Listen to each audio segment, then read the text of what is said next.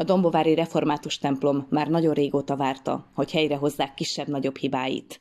Hatalmas munkák indultak el 2019 őszén, az építmény napról napra szebbé válik. 1929-ben építették, tehát 91 éve, idén 91 éve, és, és volt egy, egy-két kisebb-nagyobb felújítás, a, a, a, ha jól emlékszem, akkor 80-as vagy a 90-es években, elsősorban a tornyon, de, de ekkora úgymond ráncfelvarráson még nem esett át ez az épület, de minden dombovári lakos tudja, hogy bizony rászorult már, úgyhogy nagyon hálásak vagyunk Istennek, aki megadta nekünk ezt a kiváltságot, hogy fölújítsuk, mert, mert ez nem mindenkinek adatik meg. A felújítás gondolata nem új keletű, de eddig sajnos nem volt rá olyan pályázat vagy anyagi háttér, ami lehetővé tette volna ezt. Én Pécerről érkeztem ide, ott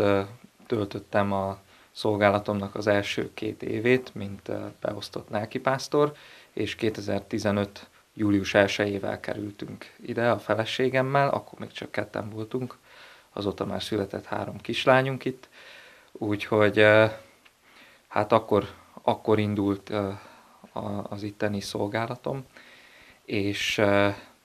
utána egy pár évet, már akkor az elején is fölmerült, hogy valamit kéne csinálni ezzel a templommal, mert elég ramaty állapotban van, és,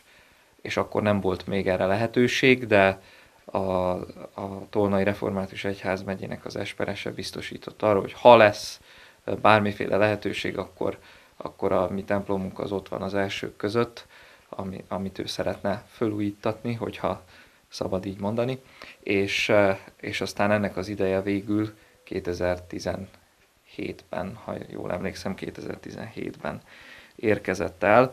Ekkor az Emberi Erőforrások Minisztériuma írt ki egy pályázatot, amelyre a Duna melléki református egyházkerület nyújtotta be igényét. Ez egy 80 millió forintos összeg, tehát egy elég szép pénzt kaptunk, amilyen nagyon hálásak vagyunk, és kezdetben úgy tűnt, hogy mindenre elég is lesz, és tulajdonképpen magával a templommal kapcsolatban, tehát maga, csak a templom épületet, hogyha vesszük azzal kapcsolatban, tényleg mindenre elég. Egy, egy-két apróságot leszámítva. Úgyhogy hatalmas munkák indultak el itt a tavaly ősszel. Hát ugye 17-ben ez kiderült, hogy, hogy van egy ilyen, akkor 18-szor körülbelül eldőlt, hogy mi is benne vagyunk a kiválasztott gyülekezetekbe, és akkor mi el is kezdtük keresgélni a megfelelő szakembereket, a tervezőt, a, a, a csapatot, a, a, amelyik lebonyolította ezt az egészet, mert itt meg kellett pályáztatni ugye a munkát. Tehát itt egy teljes körű belső és külső felújításról van szó. Azzal kezdődtek a munkák, hogy az épületet meg kellett erősíteni, ugyanis történt benne korábban egy süllyedés, és ezt alá kellett injektálni, egy nagyon érdekes technikát alkalmaztak, amivel eh, stabilizálni tudták az épületet, hogy ne süllyedjen tovább, illetve a falakat össze kellett varni, és, és miután ez megtörtént, ezek voltak az első lépések, utána kezdődhetett a többi, illetve közben már elindult az alsó szintnek a felújítás, ugyanis a templom az nem csak a templom részből áll, hanem van neki egy alaksora, ahol több közösségi terem, helység is található, a mosdó, konyha, babamama szoba,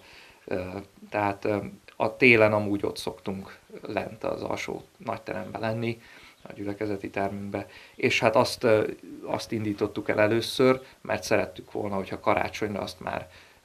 belakhatjuk a szép felújított állapotába. A felújítás szinte mindenre kiterjed, külső-belső festés, nyílászárócsere, elektromos hálózati csere, fűtéskorszerűsítés. Egy igazi 21. századi épületté válik a templom. Az alsó szinten teljes belső festés,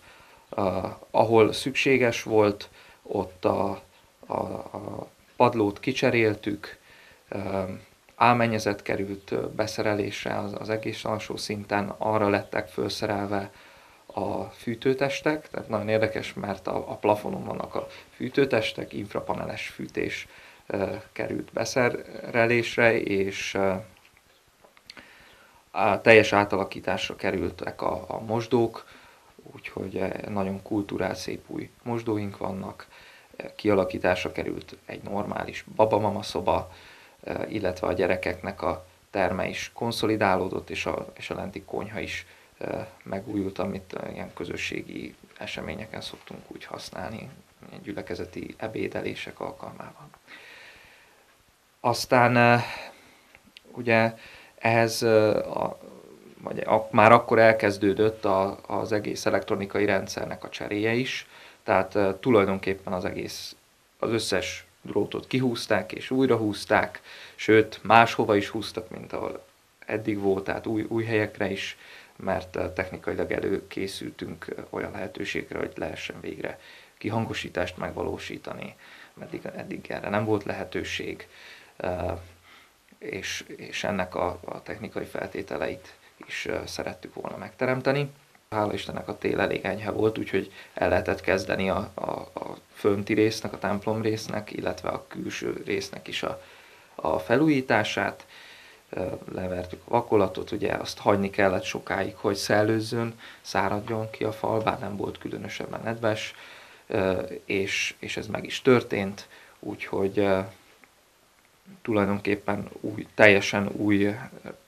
vakolatrendszert kap a fal, a vakolat már fönn van, most már mindenhol, a lábazatot fejezték be a múlt héten, és most már a kinti részen a festés kezdődik, de teljes lesz a tetőnek a cseréje is, ott a, a szerkezetet egy kicsit kellett csak megerősíteni, de teljesen új cserép kerül föl rá, a tornyot magát is megújítják, úgyhogy, úgyhogy elég sok minden sikerült megcsinálni. A belső részen pedig kicserélték a, a nyilászárókat, hőszigetelős ablakok kerültek be, hát ma már talán ez alap, hogyha az ember felújít, de, de hát ezek nagy dolgok azért a, a mi kis gyülekezetünknek az életébe. A hatalmas beruházás a református gyülekezet számára rendkívül fontos volt, és a városképet is gazdagítja a megszépült külsejű templom. Én azt gondolom, hogy egy, eh, egy lelkipásztornak az életében ez, ez különösen is fontos dolog, mert, eh, mert valahol azt látjuk ebben, hogy, hogy Isten nem felejtette el az ő népét, akármilyen kicsi vagy törékeny legyen is az ő gyülekezete, akár itt Dombóváron is, hanem gondoskodik rólunk, és, és megadja a külső szükségleteket is ahhoz, hogy, hogy az valóban alkalmas legyen a, a templom, mint hely is az ő tiszteletére, imádatára.